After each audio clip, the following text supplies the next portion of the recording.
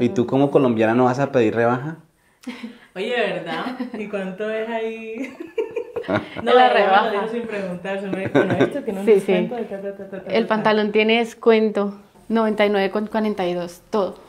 Todo, o sea, por menos de 100 euros te vas vestida entera. Joana es una colombiana que pasó de ser empleada en una vieja tienda de zapatos a comprarla y convertirla en el zapatero de Joana, una boutique ubicada en el barrio Villaverde en la ciudad de Madrid, España. Yo llegué a Madrid hace cinco años y yo empecé a buscar pues por la zona porque eh, estaba buscando trabajo y nada, pues yo me levantaba todos los días a las 7 de la mañana y venía a los bares, venía a los lugares así, preguntaba, venga, necesitas una chica para trabajar.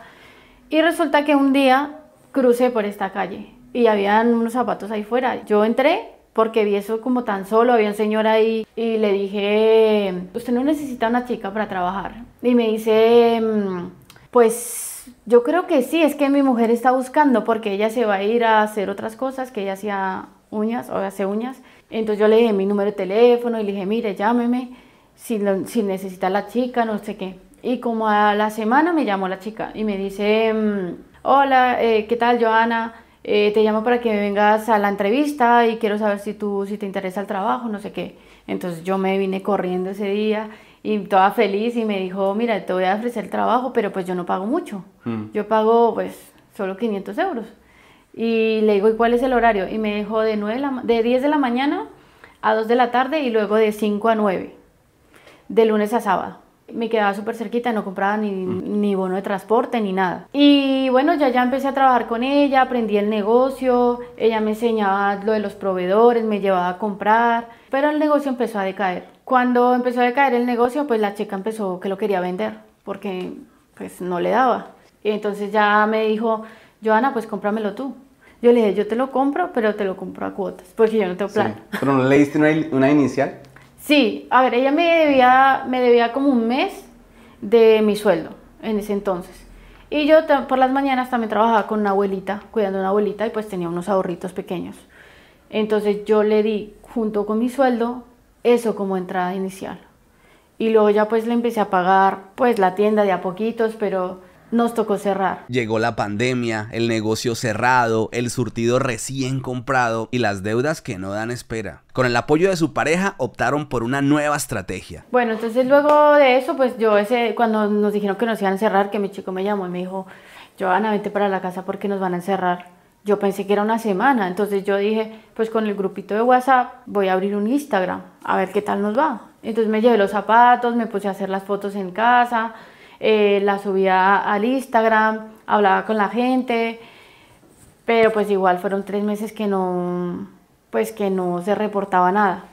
Luego ya cuando pasó lo de la pandemia, bueno, vinimos, abrimos, todo el mundo quería venir a comprar zapatos, bueno, también porque los centros comerciales estaban cerrados. Los negocios pequeñitos como estos, pues claro, recibimos como una dosis de oxígeno que era lo que necesitábamos, como...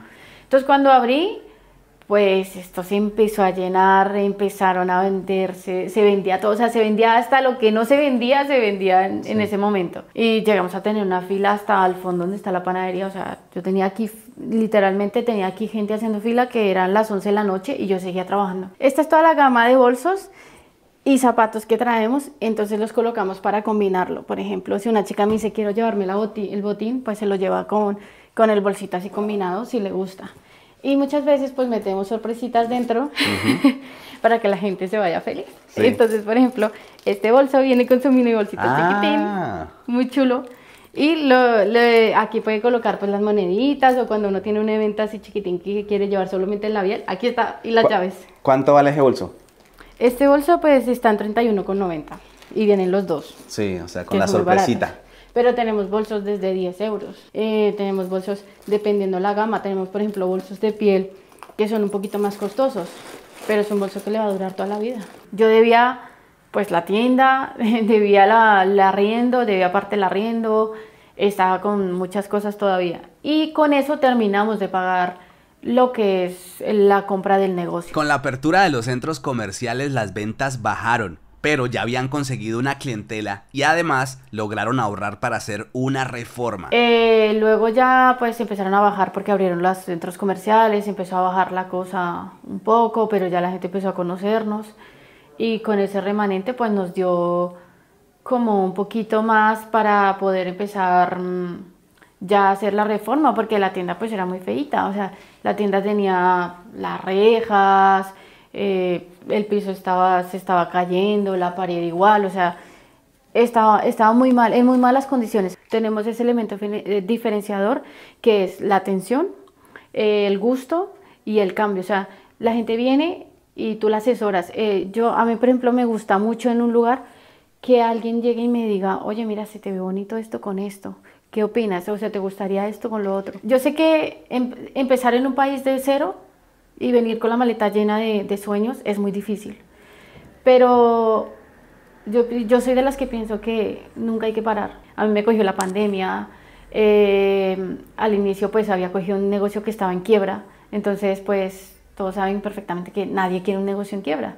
Pero lo hemos sacado, como se dice, con las uñas adelante. Y si yo puedo, pues cualquiera puede. La moraleja que me deja toda esta experiencia es que las lágrimas son bendiciones siempre, siempre, o sea, yo he pasado cosas muy duras, pero luego al final he visto la recompensa. O sea, como que el que siembra, recoge. Y yo creo que ahora pues no es el top, no es donde yo quisiera estar, pero, pero siento que, que estoy ya en un nivel donde yo puedo, si de aquí a mañana no llegase a funcionar las cosas porque no todo es perfecto, sé que me puedo abrir las puertas en otros lugares. ¿En qué debe cambiar una persona cuando migra y viene a un país como España? La mentalidad. La mentalidad porque muchos venimos aquí con una idea diferente, ¿no? A mí también me pasó. Y venimos con la idea de que todo va a ser fácil, de que en cualquier, eso le sale uno trabajo en cualquier momento, en que si yo tengo una carrera me tienen que dar trabajo en, una en lo que yo he estudiado. Y eso no va a pasar. Porque uno viene aquí a empezar a que te conozcan, a que seas, así como se dice, como a nacer de nuevo.